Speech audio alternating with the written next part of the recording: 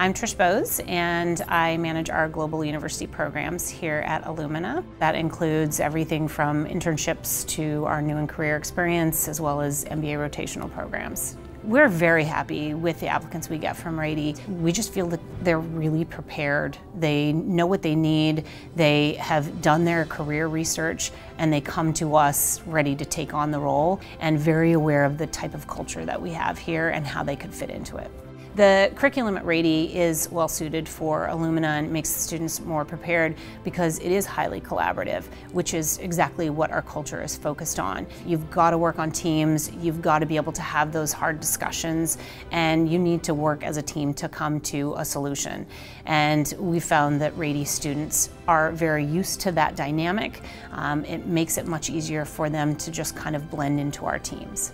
The thing I like most about working with Rady's Graduate Career Connections is the strong partnership. It's the collaboration.